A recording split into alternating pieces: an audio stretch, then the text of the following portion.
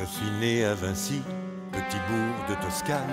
Mon père était notaire et ma mère paysanne. J'ai appris tôt à lire, à écrire, à compter, observer la nature. Enfant, me passionnait. La Toscane était belle, exaltante et vivante. Elle entr'ouvrait la porte à un monde nouveau s'annonçait avec elle l'ère de la Renaissance, où l'on pouvait unir le cœur et le cerveau. J'ai vécu à Florence, à Milan et à Rome. J'ai peint, j'ai dessiné et surtout inventé des outils pour les hommes, un sourire de femme. Et vous parliez de moi, de cette renommée.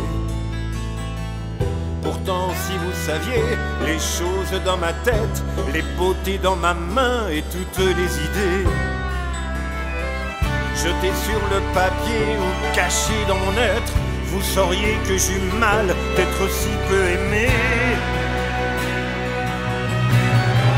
On ne choisit pas le pays où l'on vient,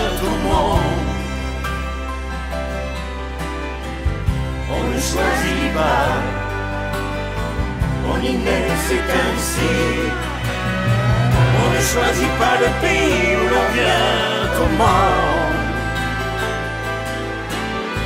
Ils ont choisi celui qui nous verra mourir. On choisit la maison où l'on s'endormira. Pour la dernière fois. Pendant qu'un enfant roi sur les terres de France se préparait à être des François le premier, je travaillais à faire plus ample connaissance avec les rêves fous de mes nuits éveillées. Et quand il m'appela, moi, le déjà vieil homme, je traversais les Alpes sans plus me retourner.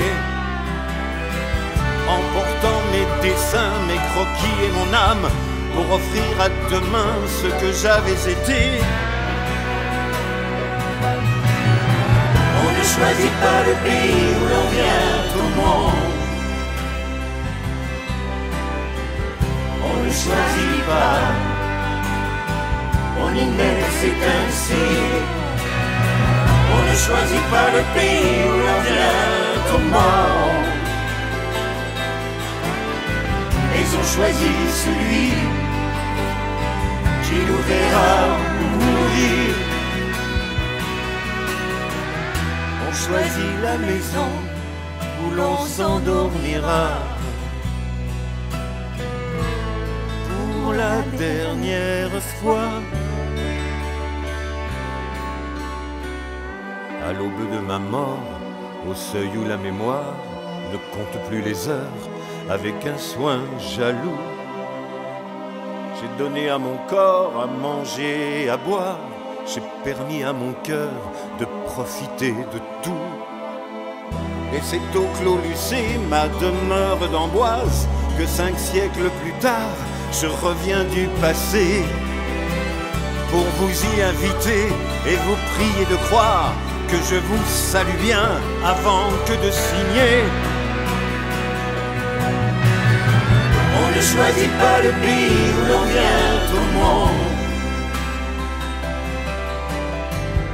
On ne choisit pas, on y naît, c'est ainsi.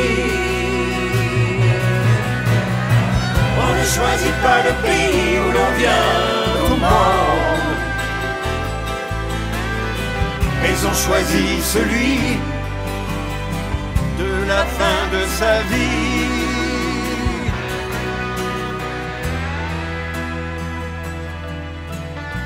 Leonardo da Vinci